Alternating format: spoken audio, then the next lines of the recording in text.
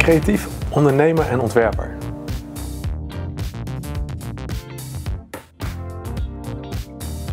Nou, natuurlijk, creativiteit is één. Ehm, maar ik denk ook tot een eenvoudige oplossing komen van een probleem. Ehm, want daar ligt meestal de kracht. Uh, dingen eenvoudig maken. Ik vind altijd een compliment mensen zeggen, ja, dat had ik ook kunnen bedenken. Ja, dat betekent dat je iets eenvoudig hebt gemaakt. En dat, dat is meestal de kracht van dingen oplossen of uh, focus aanleggen voor iets. Het eenvoudig maken. En ik denk dat ik daar goed in ben.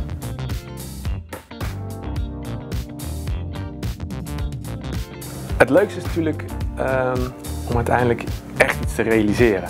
Ik kan heel veel plannen bedenken en dat vind ik heel leuk. Maar uiteindelijk om iets gerealiseerd te krijgen, dat geeft denk ik echt voldoening. En dan vooral um, als het ook nog een succes is.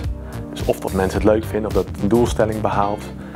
Uh, ja, dan heb je denk ik iets neergezet wat succesvol was.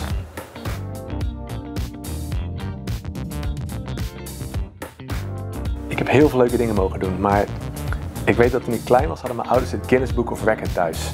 En dat zijn die boeken waarin wereldrecords staan. En op de voorkant van ons boek stond een man met een hele grote pizza, de grootste pizza ter wereld. En dacht ik al, wauw! Dat boek heeft me altijd gefascineerd en ik wilde daar heel graag inkomen.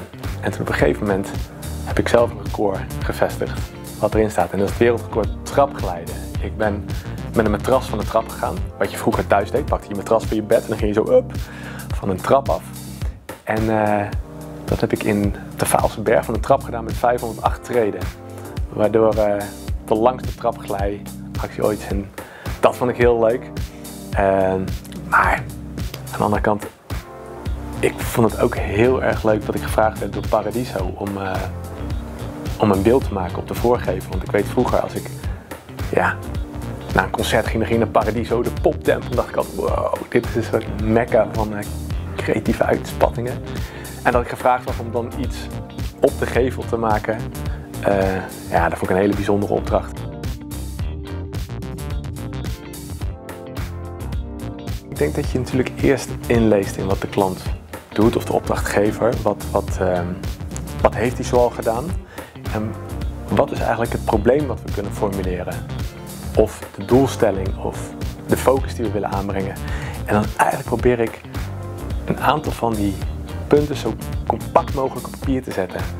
Zodat je eigenlijk kan toewerken naar een, ja, een duidelijke doelstelling. Een duidelijk focuspunt, of een duidelijke opdracht of een duidelijke probleemstelling. Dus ik probeer er altijd al een aantal zelf op papier te zetten en om te kijken van hé, hey, in welke hoek gaan we met z'n allen naartoe?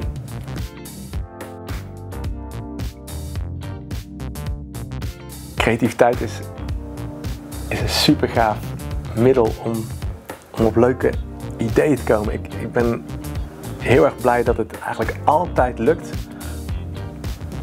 om door middel van creativiteit op een oplossing te komen. En uh, ja, dat, ik denk dat, dat je eigenlijk altijd wel creativiteit nodig hebt om op een vernieuwende oplossing te komen die uh, onderscheidend is. Want dat is natuurlijk wat je vaak wil, dat mensen je onthouden van hé, hey, oké, dat was, een, dat was een, een, toffe oplossing of dat was een, een, een gaaf domein waar je instapt. En dan heb je bijna altijd wel creativiteit nodig.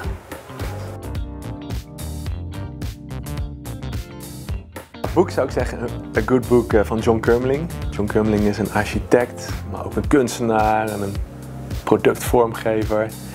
En het is een geniaal boek, maar vooral zijn oplossingen zijn meestal lijken kinds eenvoudig. En dat vind ik echt geniaal en dat hij die dingen uitgevoerd krijgt. Hij heeft een reuzenrad waar je met je auto in kan een huis op een rotonde wat ronddraait. Het is allemaal heel simpel uit te leggen, uh, maar alles is visueel heel sterk. En podcast zou ik zeggen Dissect.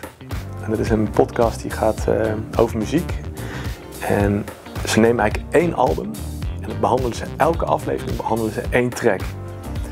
En ik ben best wel leek in muziek maken, maar ze nemen je zo min mee in hoe muziek wordt gemaakt en wat de opbouw is en waardoor albums zo goed zijn.